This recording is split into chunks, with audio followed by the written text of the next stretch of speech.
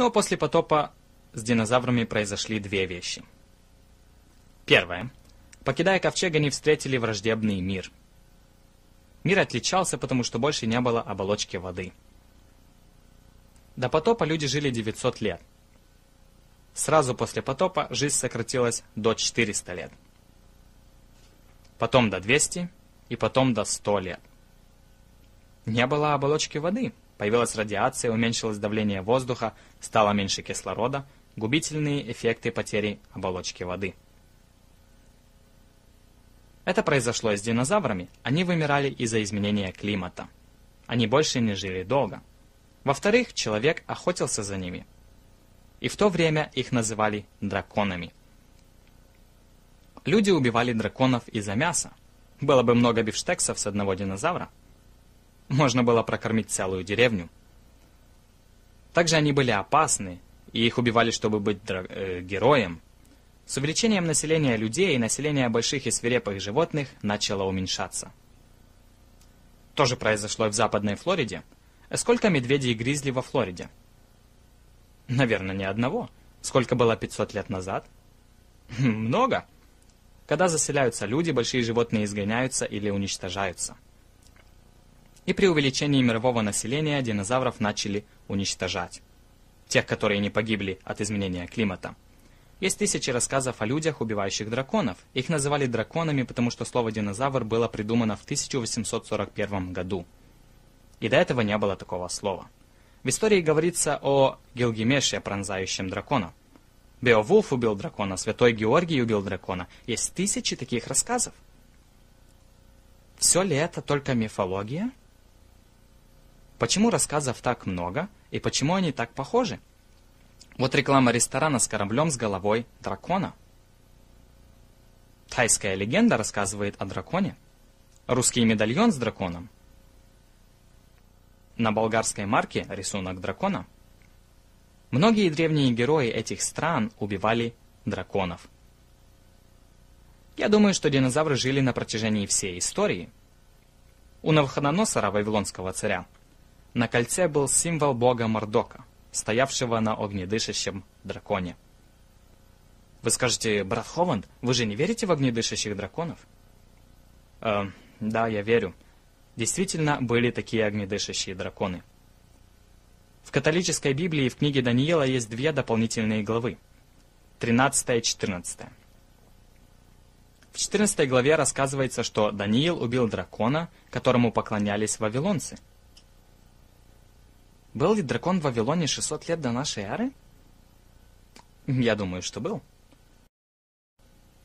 Когда были найдены руины древнего города Вавилона, в песке были найдены сохранившиеся стены города. На стенах города были найдены сотни и сотни рисунков драконов. Тогда возникает вопрос, как они знали о драконах 600 лет до нашей эры?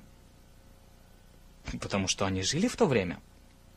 Александр Великий 300 лет до нашей эры докладывал, что его солдаты были напуганы драконами при завоевании части Индии. На этой римской мозаике показаны два дракона, которые бьются Э, или целуются. Непонятно, что они там делают. Все же, как римляне знали о драконах 200 лет после Христа?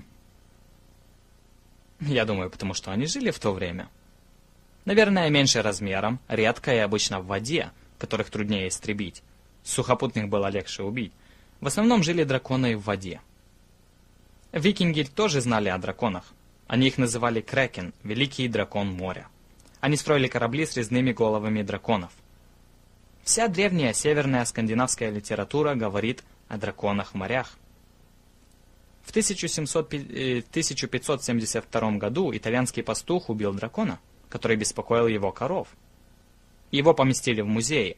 Ученый даже сделал запись «Юлусус альдравандус», в 1572 году в Италии вы могли увидеть динозавра в музее. Не кости динозавра, а всего динозавра. Хм. Если вы достанете словарь или энциклопедию 400-500-летней давности, по словам «дракон» будет написано «крайне редкое, но еще живущее животное».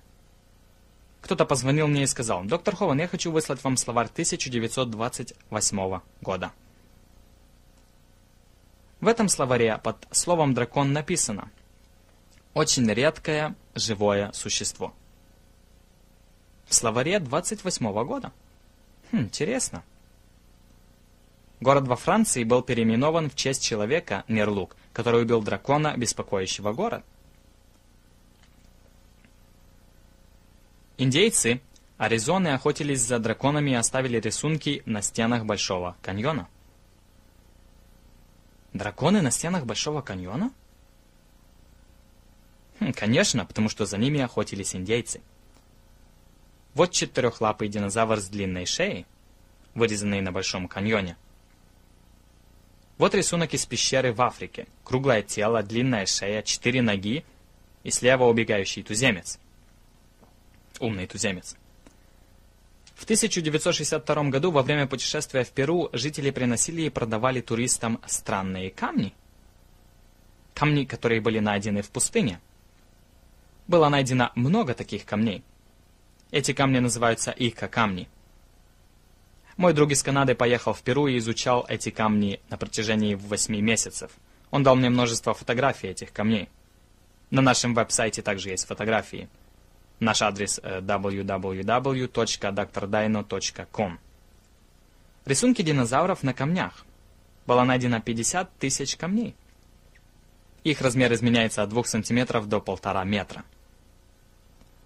Найдены рисунки на этих камнях каждого известного вида динозавров.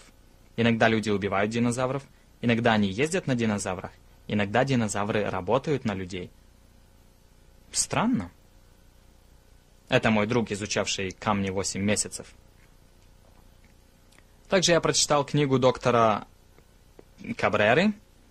У него 11 тысяч таких камней.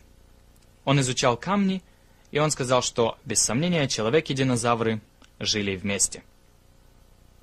Но после этого он говорит, это доказывает, что человек был здесь 200 миллионов лет назад. Хм, прекрасное исследование, но плохой вывод – нет, это доказывает, что все датирование истории неверно. Человек и динозавры жили вместе. Вот вождь, отрезающий голову динозавра. На этом человек едет на динозавре.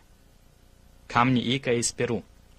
Во время парусников со времени Колумбуса, до около 100 лет назад, когда начали использовать двигатели, эти 400 лет истории называются Великим временем парусников. В это время существовало тысячи легенд о людях, видевших морских чудовищ. Парусники плавают очень тихо. Сегодня с громкими двигателями звук под водой можно услышать на 150 километров в округе. И динозавры выучили избегать морские пути –